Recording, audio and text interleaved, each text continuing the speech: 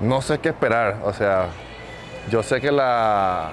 Bueno, sí sé qué esperar, la verdad, la fanaticada aquí, la ceremonia, el show de luces, los fuegos artificiales, en sí no sé si el nerviosismo me va a entrar porque es que lo exigente que es la afición guinda, este, es una afición que se, mete mucho en el juego, la verdad estoy muy ansioso por jugar, por ver el estadio lleno. Este, la verdad no puedo esperar que ya sea 7 y media de la noche el viernes para comenzar a jugar.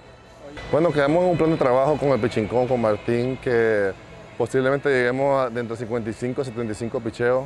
Mi meta es llegar a 5 innings trataré de hacer lo, posible para poder llegar hasta 5 innings, darle al equipo el chance de poder que ellos anoten y yo mantener el juego. Este, siempre mi meta va a ser llegar largo en los juegos, tratar de que el bullpen ese día sea corto, que solo usen dos o tres hombres máximo.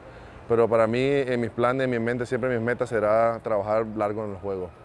Me encuentro en un estado físicamente mejor de cuando estaba pichando Grande Liga este año. La verdad, en, en mi tipo de cirugía el factor clave es el tiempo y el tiempo hasta ahora es el que se me ha dado. Este, ya tuve el tiempo de descanso, ya tengo ahora el tiempo entrenando, ya tengo 17 meses, casi por cumplir los 18 en mi cirugía.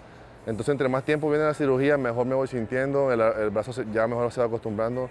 Siento que las mías van recuperando, se va sintiendo la mejor fuerza de la pelota cuando la tiro. Este, en, lo del control me siento mejor, los picheos están haciendo lo que se deben hacer, entonces sí me siento listo para esa parte y, siento que estoy regresando a mi nivel poco a poco, al nivel que, estoy en Grandes Ligas. No, pues obvio, ahorita mismo estamos enfocados en el plan de trabajo para, de ataque para mañana, para el juego. Saber a quiénes vamos a enfrentar, ya hablando del Ainor, los peloteros, sabiendo cómo le vamos a pichar. Este, ya en secundario viene la parte de cómo, cuántos picheos tenemos, qué es la meta que vamos a contar con tal bateador. Primeramente nos estamos enfocando en ganar el juego de mañana y yo de llegar lo más largo posible en el juego. Ah, de hecho, siento que voy a aportar lo mismo, porque al hecho cuando tiraba los últimos innings era para mantener la victoria o ganar, ahora quiero hacer que gane el equipo.